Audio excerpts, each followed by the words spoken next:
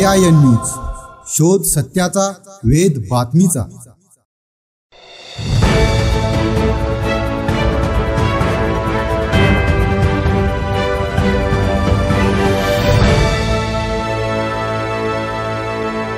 गोदावरी खोरे हे तुटीचे खोरे असून या खोऱ्या अंतर्गत असलेल्या नांदूर मधमेश्वर धरणाच्या पाण्यावर सिंचना व्यतिरिक्त कोणतेही आरक्षण टाकू नये अशी मागणी आमदार रमेश पाटील बोरनारे यांनी पालकमंत्री सुभाष देसाई यांच्या अध्यक्षतेखाली झालेल्या नांदूर मधमेश्वर कालवा सल्लागार समितीच्या बैठकीत केली आहे. रब्बी व उन्हाळी हंगामासाठी पाण्याचे नियोजन करण्यासाठी सिंचन भवन कार्यालय येथे नांदूर मध्यमेश्वर कालवा सल्लागार समितीची बैठक झाली. या बैठकीस खासदार इम्तियाज जलील आमदार रमेश पाटील बोरणारे आमदार प्रशांत बम जिल्हाधिकारी सुनील चव्हाण शिवसेनेचे उपजिल्हा प्रमुख बाबासाहेब पाटील जगताप पाटबंधारे महामंडळाचे संचालक कुलकर्णी आणि अभियंता आदी उपस्थित होते. या बैठकीत नांदूर मधमेश्वर कालवा प्रकल्पांतर्गत असलेल्या भाम भावली मुकणे आणि वाकी या चारही धरणांमध्ये अकरा टीएमसी पाणी सिंचनासाठी आरक्षित असून औद्योगिकरण पिण्याचे पाणी बाष्पीभवन आणि हानवे व आकस्मिक पाणी अशा अनेक कारणासाठी तीन पूर्णांक पंचवीस टीएमसी आरक्षित करून त्या पाण्याचे नियोजन करण्याचा प्रस्ताव नाशिक पाटबंधारे विभागाने मांडला. या प्रस्तावास विरोध करून वैजापूर गंगापूर तालुक्यासाठी रब्बीचे दोन आणि उन्हाळी तीन असे एकूण पाच आवर्तन म्हणजेच एक पूर्णांक पाच टीएमसी हक्काचे पाणी सोडण्याची तसेच वितरकांसाठी संपादित केलेल्या जमिनीचा मोबदला शेतकऱ्यांना देण्यात यावा अशी मागणी आमदार रमेश बोरनारे यांनी केली. नांदूर मधमेश्वर प्रकल्पांतर्गत असलेल्या भाम भावली मुकणे आणि वाकी या चारही धरणांचे नियंत्रण आणि व्यवस्थापन लाभ क्षेत्र कार्यालय औरंगाबाद यांच्याकडे देण्यात यावे अशी मागणीही रमेश बोरनारे यांनी या बैठकीत केली. Lalit Kathwate AIN news Vaijapur.